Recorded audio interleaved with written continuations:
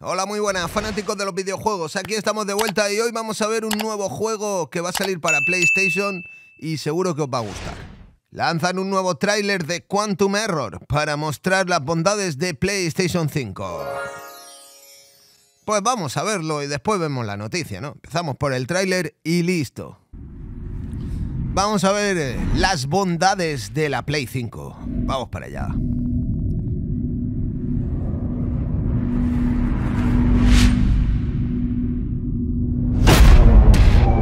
Quantum Error.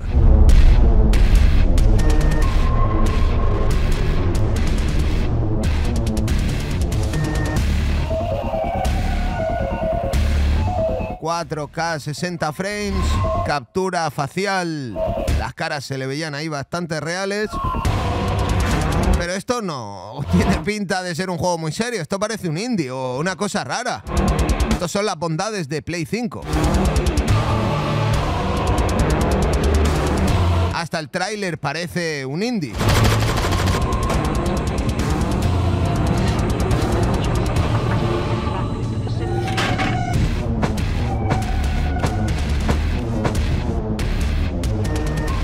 Parece que haya sido hecho con el mismo motor que el Calisto. ¿eh? Me recuerda a Calisto Protocol. Tiene unas cuantas eh, funciones, eh, características que utilizan el micro y las funciones ápticas del mando de la Play. O sea que puede ser que por ahí esté la vuelta.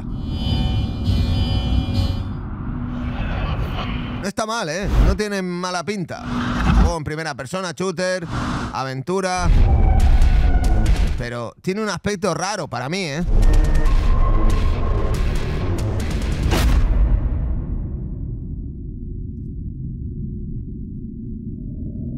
Es un bombero, es un bombero. Me ha dejado ahí un poco agridulce. Ahora veremos a ver si hay más vídeos.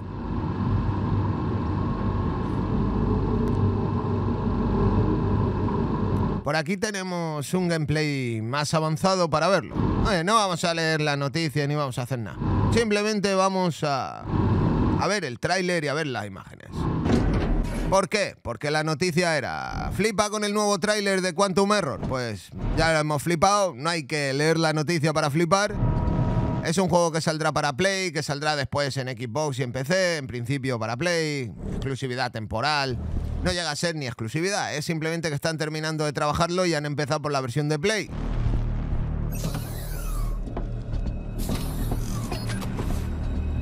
Y bueno, pues lo que vemos ya os digo yo que está bien, pero no tampoco te vuelves loco, ¿eh? Está bien, pero tampoco te vuelvas loco, ¿eh? O sea, es un juego... me recuerda a mí eh, a Returnal, me recuerda en la línea de esa calidad de juegos. Me recuerda a mí... Parece un juego, un doble A, ¿qué es lo que es? Básicamente, es un doble A.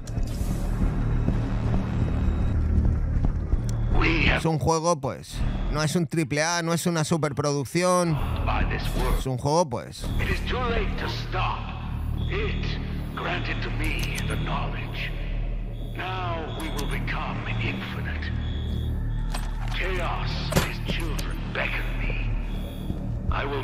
Es una especie, gráficamente me recuerda mucho a Calisto, ¿no? Esos brillos, esa ambientación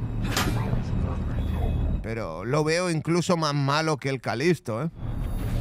Con todos los respetos del dueño del juego, ¿eh? hay que jugarlo, hay que disfrutarlo, hay que verlo en su estado correcto, no en un vídeo. Hay que darle varias cosas para poder juzgar en, en seguridad, digamos, pero... No sé, los enemigos los veo muy, muy simples. Gráficamente no es un portento. Es un indie, es un indie, lo veo como un indie, parece un indie directamente, un indie para la Play 5.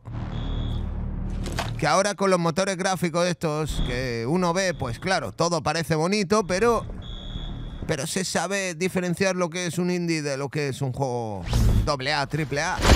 Esto será como mucho un AA y tampoco creo que tenga mucho presupuesto. Los enemigos son idénticos todos. El movimiento es bien raro. Las físicas son bien raras.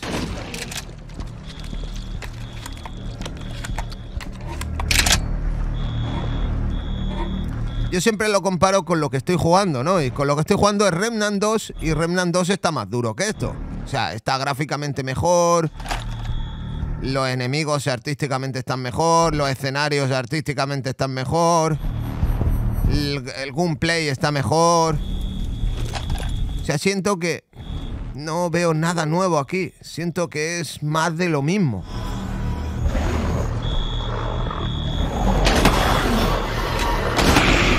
Mira ese bicho del techo, qué, qué, aspecto más feo que tiene, ¿eh? Qué aspecto más feo que tiene, que llega a tener, ¿eh?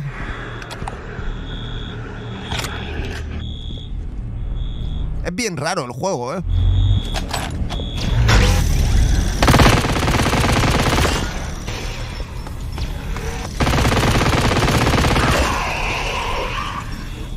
¿Ustedes qué dicen?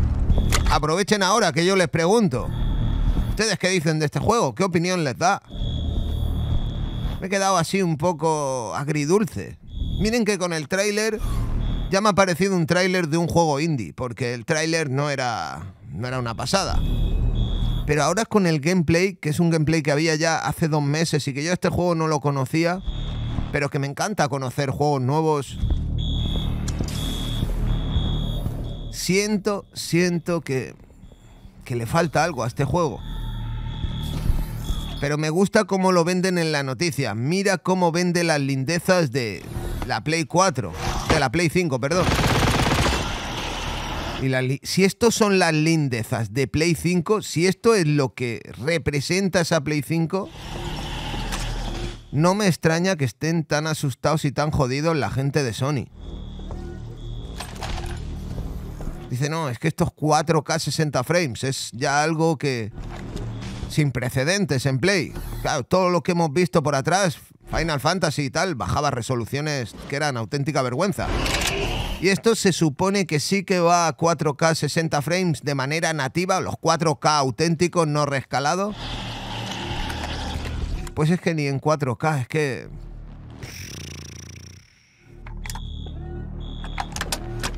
lo veo el juego bien trambólico, tío. Mira los bichos cómo, cómo caminan. Parecen los bichos del House of the Dead, caminando. Parece que caminen en una cinta de correr del gimnasio. Claustrofóbico. Mira, mira las texturas de esa puerta. Mira las texturas de esa puerta. Mira el fuego, mira ese fuego. Mira ese fuego. Esto... Esto está bien comprado, ¿eh? O sea, esta noticia, tal como está escrita, comprueba con tus ojos las lindezas de PlayStation 5. O sea, o es meme, o es chiste, o es que está apagado el artículo, porque... siento que no está a la altura. No sé. Y no es hateo, no es hateo. Aquí valoramos todo con lo que es. Da igual el color de la plataforma, da igual el electrodoméstico. Así que bueno, aprovechen ustedes para dar su opinión respecto de esto. Quizás haya sido un poco duro, ¿no? Y que haya muchos juegos de este tipo que cada uno tiene su parte artística, ¿no? Pero gráficamente está muy por debajo. Es como si coges un juego de la Play 3, le pones el 4K 60 frames, le pones un poco de brillo a algunas armas, pero es que parece un juego indie, hasta para coger los ítems, hasta para abrir los botones, todo. O sea, ¿ustedes se creen que hay alguien que espera este juego con impaciencia? Que dirá, oye, cago en la leche, ha salido exclusivo para Play, pero vamos a estar unos meses sin poder tenerlo para PC. Qué pena, ¿eh? Me voy a, me voy a desesperar. ¿Ustedes se creen que alguien espera con impaciencia esto?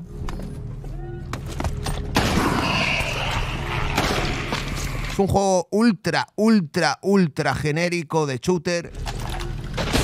Como estos hay mil millones. A lo mejor el Fear y alguno de estos antiguos, pero...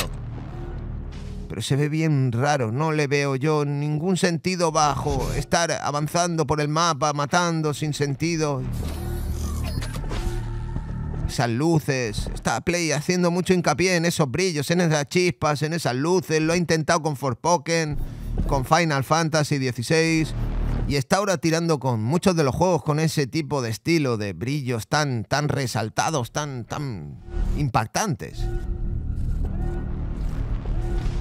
En fin, Quantum Error. Para mí es un error llamarle el referente de los gráficos de Play. O sea, decir, oye, si quieres ver la referencia de los gráficos de Play, aquí tienes Quantum Error. Y te salen con esto. Me parece un error.